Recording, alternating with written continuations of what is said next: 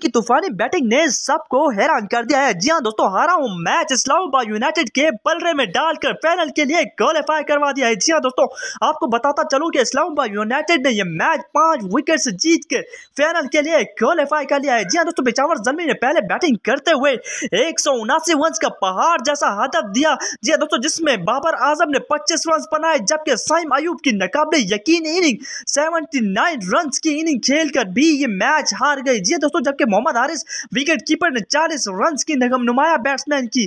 जी हाँ दोस्तों, हैदर अली की जितनी तारीफ़ की जाए, उतनी ही कम है। मुसलामाबाद यूनाइटेड ये मैच पाँच विकेट से जीत गई है। जी हाँ दोस्तों मार्टल गुप्तल भी काफ़ी खूबसूरत बैटिंग की, जबकि अहमद वसीम ने 58 रन बनाकर अपने मैच में जीत में हिस्सा डाला। जी हाँ दोस्तों, मजीद ऐसी अपडेट्स के लिए मेरे चैनल का विज़िट करें, लाइक करें, सब्सक्राइब करें और बेल आइकन को ज़रूर प्रेस करें। इस्लामाबाद यूनाइटेड अगला मैच फाइनल में मुल्तान सुल्तान के खिलाफ